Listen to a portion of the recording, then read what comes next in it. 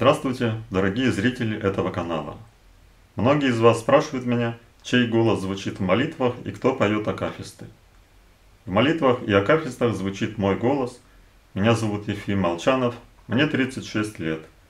Я певчий одного из храмов Русской Православной Церкви.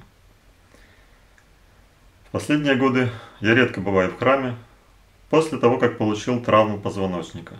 И это создает серьезные препятствия – но желание петь во славу Божию никуда не делось, и в результате возник этот канал.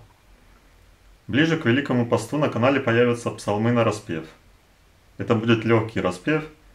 Я надеюсь, каждый, кто этого захочет, сможет петь псалмы, так же, как это делал царь и пророк Давид.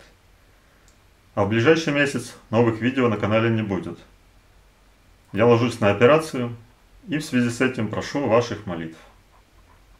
Я благодарю всех, кто комментирует мои видео, кто пишет добрые, хорошие слова.